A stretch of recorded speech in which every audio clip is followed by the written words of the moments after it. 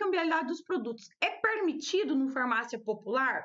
Isso aqui, gente, vale pro farmácia. Isso aqui, gente, vale pro farmácia popular e vale também, certo? Quem já trabalha em farmácia sabe do que eu tô falando. Muitas vezes não acontece na prática. A, a, a galera aí às vezes não segue a lei, a legislação referente à intercambiabilidade. O que acontece? Chega aqui no farmácia popular, acaba também esquecendo disso, que é um ponto muito importante. Gente, indiferente se é farmácia popular ou não, é importante. A lei está aí para ser seguida, mas eu sei que na prática muitas vezes isso não acontece.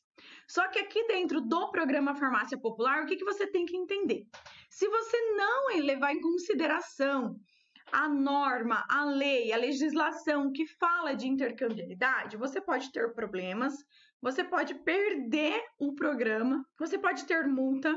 Quem que ganha multa, Dai? É o proprietário, é o farmacêutico responsável. Então, farma, você é responsável por isso, tá? Você é que vai responder aí dentro da farmácia onde você trabalha. Então, se a coisa aí não tá acontecendo do jeito que tem que ser, às vezes você precisa ter uma conversa com o seu gestor, com o seu superior e alinhar isso, porque olha só, se bem a fiscalização para fazer a conferência do farmácia popular encontra esses erros aqui, você pode ter um baita de um problemão. Então, intercambiabilidade é a mesma, né? Por farmácia popular, medicamentos fora do farmácia popular é a mesma.